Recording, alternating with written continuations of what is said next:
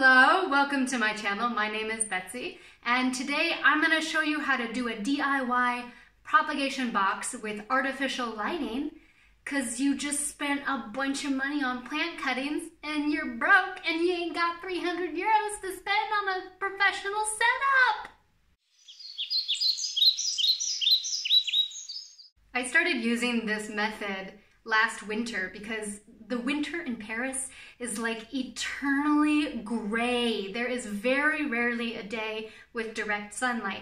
And I bought a bunch of African violet cuttings and some Hoya cuttings, some epiphyllum cuttings, and I really wanted to make sure that they would do well and that they would just like die and that my money would go to waste. So I started Googling around and I actually was inspired by Doug Chamberlain. He, in one of his videos, he shows how to make a box very similar to this. So I have to give props to Doug for giving me this idea. To make my box, I use a big clear plastic storage container. If you live in a place where there is a lot of light, like you have a room that gets a lot of light during the day, you don't have to use the artificial light or all the other elements that I'm going to be showing in this tutorial.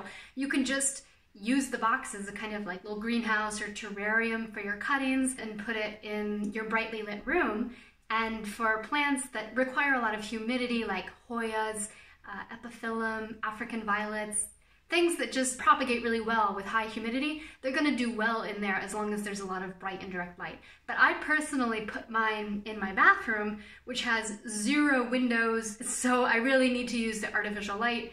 And like I said, in the winter, super, super gray. I just really wanted to make sure, just be absolutely positive that my cuttings were going to grow. And it worked wonders. So I want to show you how to do it because if you're on a budget, it's a fantastic way of making sure that your plants propagate quickly and prosper. My box is about 12 inches or 30 centimeters in height.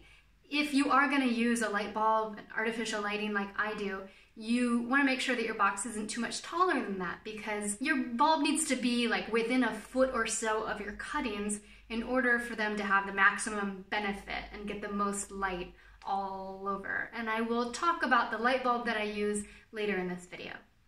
So here's how you're gonna do. Get a clear plastic storage bin with a clear lid. These are pretty easy to find. You can get them in cheap hypermarkets or hardware stores or dollar stores or, you know, wherever. You need scissors or wire cutters. Extra durable aluminum foil. You can see that mine is resistant, as most French tend to be. You don't want to use like the real flimsy cheap stuff because it rips too easily. It's gonna be annoying for you, trust me. You need duct tape, or really any kind of heavy duty tape that can withstand higher temperatures because you're gonna maintain temps between like 70 and 80 degrees Fahrenheit or 21 and 27 degrees Celsius. Wire mesh, professionally known as galvanized steel hardware cloth, or you could also use something called egg crate light ceiling panel. It's made of acrylic. I find that the wire mesh is a bit cheaper, but it's also a little bit more flimsy since it's thin and made of wire. So, you know, you choose. Slices of PVC pipe that are all the same width Uh, I don't know what these are called, but they work, and I found them in the PVC pipe aisle. You can also use PVC pipe caps. A cheap flex lamp. I use this one because it was like seven bucks. I tried to find one of those clamp lamps that you can get in pretty much any hardware store in America, but apparently the French haven't gotten those yet. Like, they were the first country to carry out a human face transplant, and they're home of the first woman to ever win a Nobel Prize, but they can't handle a clamp lamp. Whatever. You'll need a thermometer slash hygrometer, like my TP55, so you can monitor the temperature and the humidity inside the box. I use an LED bulb with an output of 1600 lumens and a color temperature of 6500 kelvins, which mimics daylight. And then you'll need a programmable electrical socket timer so that you can control what hours of the day your cuttings get light and darkness. Plants do need darkness, so you can't blast them all the time. The first thing I did is cut a hole in the lid of my box to fit the size of the lampshade circumference. I first started with no hole at all and just let the bulb shine through, but I found that too much heat developed inside the box, greenhouse effect, And so the hole allows for like the maximum amount of light to shine into the box from the bulb, while it also allows for some air circulation and it also prevents the bulb from like heating the plastic of the lid too much. I found that the hole helped to maintain the perfect temperature within the box. Without the hole, it was really getting way too hot. Next, you're going to cut the wire mesh or the acrylic light ceiling panel so that it matches the inner dimensions of your box because this is what your cuttings are going to be sitting on. Then you're going to line the interior of the box with aluminum foil and duct tape. You want the shiniest side of the aluminum foil to face the interior of the box for maximum light reflection, right? The light bulb is shining into the box and the aluminum foil is reflecting the light everywhere within the box. And so this is this is great. This is awesome. You want that. That's what you want. I personally try to use as little duct tape as possible cuz I mean, you just need the aluminum foil to stick together and not fall apart. And duct tape is expensive, especially if you're buying that name brand stuff. So, I mean, you know, you don't have to go crazy with your tape here. Just make sure that the aluminum foil sticks together. Also, I the first time that I made this box, and you can see it in the blog article that I made about it, which I'll link below, I put aluminum foil in the bottom of the box as well. I don't really think it's necessary. Um, what that did was create a real gross mess because the the plants, you know, you water them and then water pools in the bottom. You get some like soil and stuff down there, and then it makes it harder to clean out. I couldn't. So I just decided to nix that step this time and just put aluminum foil around the edges of the box. You can put aluminum foil on the bottom of the box. It's totally up to you. It worked for me my the last time that I did this, it was awesome. Everything worked super duper great. I'm not going to do it this time. If I find that my results are not as good as the previous time that I did this, I'll freaking put aluminum foil on the bottom. I, will fix it, you know? I cut out a little piece of aluminum foil from the side so that the display of my TP55 faces outward and I can keep an eye on temp and humidity without opening the box. I'm using a scalpel that I bought for a pottery hobby that I started and never really followed through with, but you could probably just use the edge of sharp scissors or a sharp knife. Don't cut yourself. Put your little PVC pipe caps or rings on the bottom of the bin, and then place your wire mesh on top of those. This is meant to elevate the little plant pots or whatever you're keeping your cuttings in.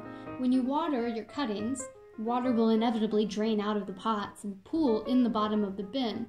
So this is going to prevent the pots from sitting in water and keeping the soil too moist all the time.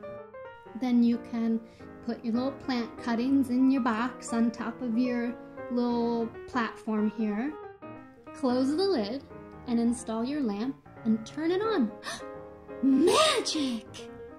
You can see my box in action. I keep it on a cupboard in my bathroom because the light is just really aggressive. You can see my little planties in there.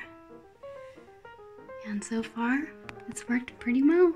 And don't forget your programmable socket timer so that you can control when your light turns on and off. Plants cannot be in the light 24 hours a day, seven days a week. They do need some time in darkness to carry out like complicated processes that I am not going to get into in this video because it's just a DIY tutorial. It's usually recommended that plants get 12 to 16 hours of artificial daylight. I've been using 16 hours with the lamp on and 8 hours with the lamp off and my plants are in complete and total darkness because they're in my bathroom which has no windows.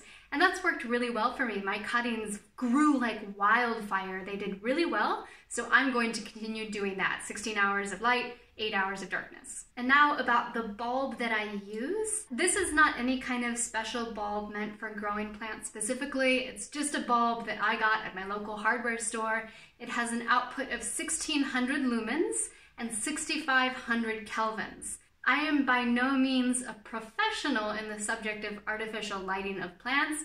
I have done a little bit of research and I will tell you what I know so far. I'm going to start simple with just a couple of definitions of the things that I'm talking about when it comes to lighting. So, what is a watt? A watt is a unit of power, and it's also what's going to affect your electricity bill.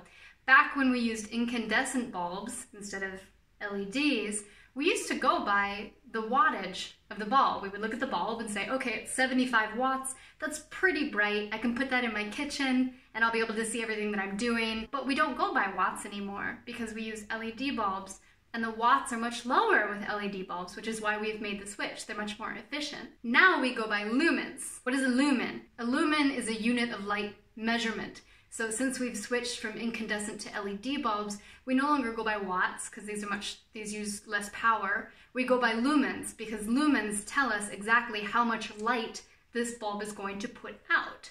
This one puts out 1600 lumens. It's really freaking bright. The bulbs that I usually use in my apartment, like in my bedroom or in my living room, are usually around 800 lumens. In my kitchen, I use something like uh, 1100 lumens. It's a little bit brighter but 800 lumens, it's kind of nice, uh, relaxed lighting. It's not super bright.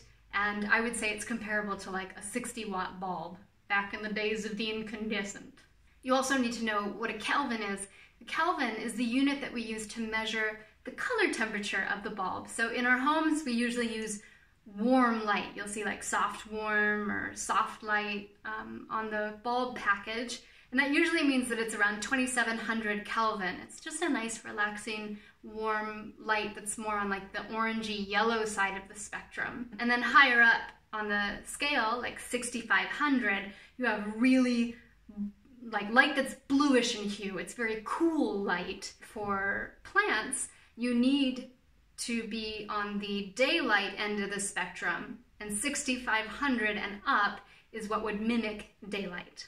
Lumagrowth.com says that if you can provide 300 to 800 lumens per square foot of your plants, then that should suffice. Uh, clearly, I went a little higher because other research told me that 1600 lumens is really ideal for green foliage growth and for having it like within one foot of your plants. And if you have incandescent bulbs that are like 1600 lumens, 6500 Kelvin, don't use those. Incandescent bulbs get really, really hot. The best types of bulbs to use are LED because they don't become extremely heated, uh, even though they put out a lot of light, and something called high output fluorescent, which are often used um, to grow plants. That's a bit more complicated than what I'm trying to accomplish today. So just gonna stick with the good old LED that I can buy at the hardware store down the street. And there you have it. It really is that simple to make your own propagation box with artificial lighting. You don't have to spend hours poring over research on the internet looking for which bulb is perfect for your plants. And it, I mean, it goes deep, right? You can you start reading about it and then there are terms that you don't understand and it's going to get really confusing and it depends on if you have a flowering plant and if you're trying to produce flowers versus green growth or if you just have cuttings and you, it just it gets really complicated. I have personally not divin divin why did i say that? I have personally not dove that deep because i don't really like using artificial lighting in my home I hate the color hue of this bulb. I keep it hidden on top of a cupboard in my bathroom so that we can't see it when we're like relaxing in our living room or, you know, doing whatever, living living our lives because the color temperature is such a cool bright color. I just find it extremely distracting and just it's really aggressive. Um, and I have a small apartment, so it's not like I have a separate room where I can just grow plants or something. Like I'm, you know, I'm living in my jungle here. So uh, I just haven't really done copious amounts of research on artificial lighting because I don't use it personally. If you do have any questions about it, leave it down below and I'll do the best to answer you because I do love researching and I do love learning new things. And if you give me the opportunity to do it, I probably will. I hope you enjoyed this. I hope you found it useful. If you do want to make your own box, now you see it's really easy. You can do it all by yourself, save a couple bucks. If you do it, let me know. Let me know how it goes. Let me, you know, I want to know if, if you have as much success as I do. Let me know. I also wrote a blog article on this subject that you can check out. It's got pictures and stuff. Uh, leave that link down below.